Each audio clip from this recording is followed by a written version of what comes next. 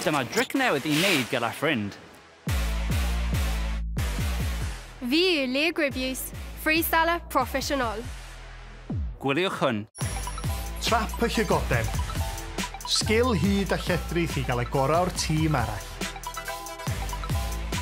Roli ar bel nôl efo dy droed gryfa.